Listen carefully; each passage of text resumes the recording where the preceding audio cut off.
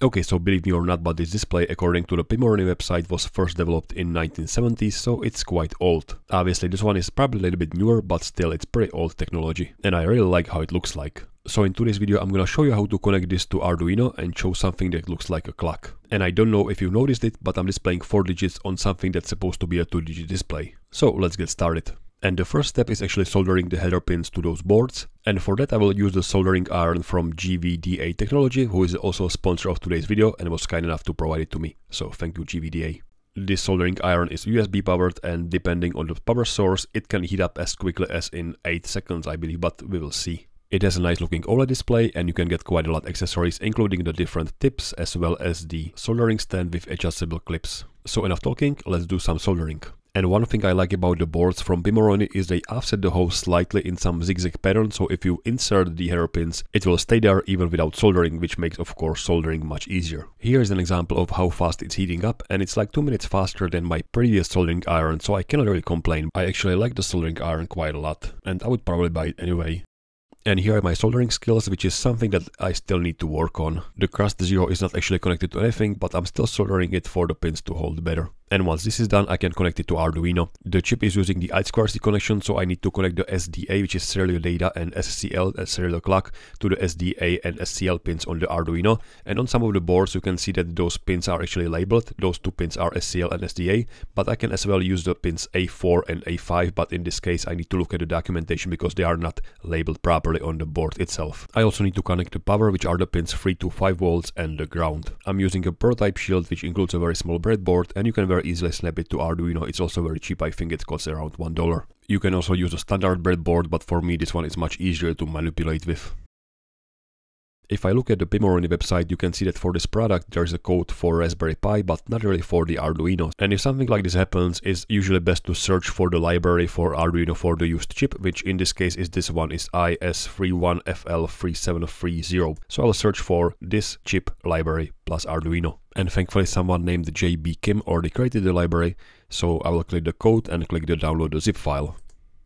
Once we have this downloaded, select Sketch, include library and select Add Zip Library. And in here, locate the zip file that you just downloaded and click the Open button. And you will see a very small message on the bottom of the window saying library added to your libraries. So if you open Sketch, include library, there should be this newly added library, which is this one, IS31 whatever slash master. So if I click this one, it will be included in our Sketch. However, what I will do instead is open this example, which should be below the example, the is uh, test.ino, and it looks something like this. If I look at the code, you can see we have definitions for M1 and M2, and it's because this board has two displays, so that's the way how you differentiate between the left one and the right one. And then we also have the M1, 2 and 3, and that's because you can connect up to three different boards to the Arduino or any microcontroller with different addresses. And if I flip over the display, you can see there are this address 1 and address 2 sections. So by default, if you don't do anything, the address will be 61. If you cut this line, the address will be 62, and if you actually solder this those two pins, the address will be 63. I'm not doing anything with this board, so the address will be the default 61. Then you can see that after we begin this connection, we clear the displays and inside the loop we are filling the matrix and clearing the matrix. So I think that even if this is driving all three displays at the same time, we can still use it even when we are only using one display. So let's just try to upload it on the Arduino and see what happens. Actually, before we do that, let's jump to the tools and make sure they have the right port selected and right board selected. In my case, that's again Arduino Uno. And here it is running on the actual Arduino, so you can see that the individual dots, the individual pixels of those displays are lighting up one by one. So it works as expected. It's a little bit hard to capture with the camera what this display looks like in real life. In real life, it's just got a little bit more contrast to it, but it doesn't mean that it's sunlight readable. Once I put it down on the table, you will see that it's almost impossible to see the lit pixels but it still got this retro futuristic feel and I really like how it looks like. I've also noticed that if you put this intentionally out of focus, you will see the lit pixels much better. So let's move on and display some custom characters, some numbers on those displays. We will start by removing stuff from the current sketch that we don't really need. So we don't need displays M2 and M3 because we only have one display and we don't need to use any serial communication. We are not sending out anything. And again, we don't need to begin communication for display 2 and 3 and clear those displays. We probably do need this set lighting effects, although I'm not quite sure what that's really mean. And then inside the loop function, we have the fill matrix and clear matrix functions, which are custom functions defined down here. And we also don't need those, but we do need to update the display. So we'll copy this update function. And of course, we want to call it for our for M1 display and we'll get rid of all the other stuff. So we'll only update the display, but don't need any gradle matrix or fill matrix function. So we end up with very small sketch with just few lines of code, but of course this is not drawing anything. And if I open the header file for the library, you can see we have a function called set pixel, which was used previously in the sketch, but we also have a function set column and set row, and also set data, which sets the data for the entire pixel, which I think is the one that we will be using. So I will just copy this so we can see what's expected. So I'll put it in here in the comment section, and then I will call it, so for the display M1, I will call the function set data, and it expects the matrix, which will be either M1 or M2, and it expects some kind of data, which is something that we don't really have at this point. However, I think that we can use some kind of custom character generator for LCDs, for example this one, or perhaps this one. Something to keep in mind is that those custom characters for LCD displays are usually made of 5 by 8 pixels, while our display is only 5 by 7 pixels, so we cannot use the last line. So let me create some custom characters, for example the arrow, and maybe some smiley face, like so. And then we can copy those two lines of code into our sketch. So I'll paste it for example in here and maybe rename this to image arrow and image smiley. And then of course use the data inside the set data function. So the first one will be image arrow and for the second display which will be the M2 I will use the image smile. Let's try to upload it on the Arduino and see what happens. Also something I want to talk about we are using the array of bytes for our data but it expresses the unsigned integer 8 which is also 8 bytes so I feel that we are safe here using the byte instead of uint 8. At least the Arduino wasn't complaining. And here it is running on the Arduino you will notice that the left display is displaying the smiley face, which is the M2, and the right display is displaying the arrow, which is M1. So it's something to keep in mind. I mean, I would expect the M1 to be the left one and M2 to be the right one, but you are free to change the definitions in here if you feel like that makes more sense. So we can display custom characters, but let's see if we can display two of the custom characters on the one display. And so for that, I will try to design numbers which only take half of the screen. And since we have 7 pixels for the width of the screen, we will use 3 pixels for the width of one digit. Then there will be a 1 pixel gap and then there will be a second digit which will also be 3 pixels wide. At least that's the plan. So back in the custom character generator, I will create a set of digits that only take up 3 rows. Unfortunately, I can only create up to 8 characters at the same time. So once I have 8 digits, I need to copy this into my sketch. Let's keep the same names for now, so I'll copy it and paste it in here. And I can continue with the other two digits, and those will be digits 9 and 0. Again, copy those into Arduino Sketch and get some meaningful names. So this will be 09 and 00, and maybe instead of image, I will call this image digit. Now we want to combine two of those digits for one display, so it might be a good idea to create a helper array called image digit m1 and image digit m2 and fill those with all zeros. And those will be the two arrays that we will be always drawing to display. So let's just say I want to draw the image digit M1 and image digit M2. Obviously nothing would be drawn right now because again those are all zeros so no pixel is being lit. Let's fix it by creating a for loop inside the loop. And the loop will go over first three rows of the segment and let's just say for the image digit M1 of index Y. I want to use for example image digit 1. Again it will be index Y.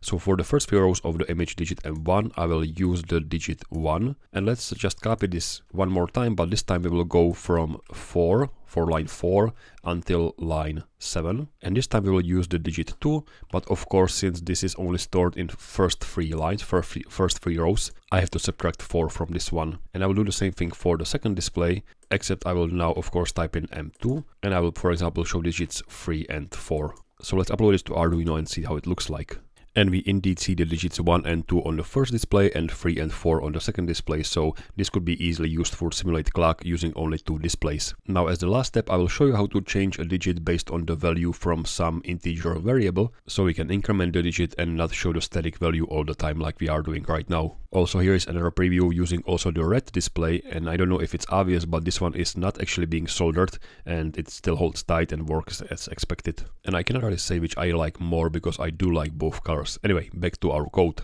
I do need some helper variables, so I need to know what will be the actual hour and minute value. So I will create a new integer values for hours and minutes, and I will populate it with some value. And I will also convert those integers into strings later on, so I need a character array, and I will call this hours string, and probably having up to 5 characters should be enough. And I will do the same thing for minutes, so I'll call this minutes string, again with maximum up to 5 characters. And I also want to some way of access those individual digits using the array, so I'll create a new helper array. I will will call it constant byte pointer and call this image digit array. That will have 10 entries and of course the entries will be the image digit 00 going all the way to image digit 09 so I will populate it with those. Like so. Let me tell you a game plan. So we have the integer hours set for example to value of 7 and we want to convert this to a string, so the array of characters called hour string. And we will use the function called sprintf, because this function can have some useful parameters, so we are converting the hours into the hour string, but this is the formatting string. So the D stands for the decimal, so this one is decimal, and the percentage zero to means that we want to have some leading zeros. So even when the number is 7, it will end up as a 0, 7, which is great because then we can access those individual characters and we can get some index out of those, and based on this index we will draw the corresponding image. For that we need to first know the ASCII value of the character 0, which is the decimal value of 48. So then we can say that the index for first digit will be the hour string character 0 minus 48 and the second digit will be the index 1 minus 48.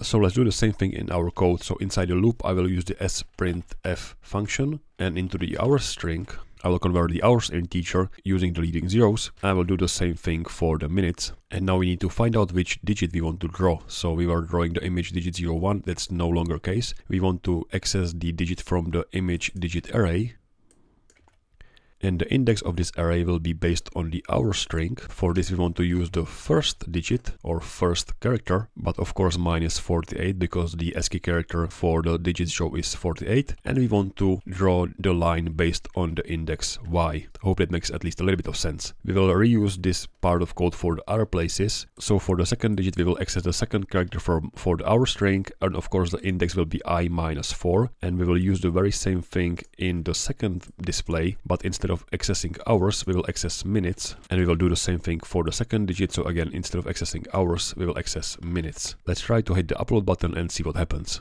And we see 1030 because that was the predefined value when we were defining the variables. So I think that we can say that it works as expected. So the only last piece would be to make sure that the digits are actually changing, and that will be very simple to do. Let's increment the minutes and if it's bigger than 60 then set it back to 0 and let's do the same thing with hours except of course the maximum value is 12. Finally, let's add a little bit of delay so it's not that fast.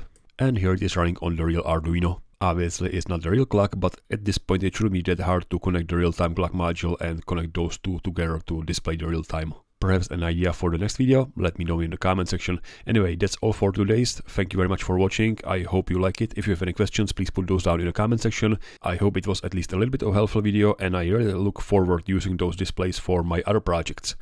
Again, thank you very much for watching, and I hope to see you soon. Thanks, and bye.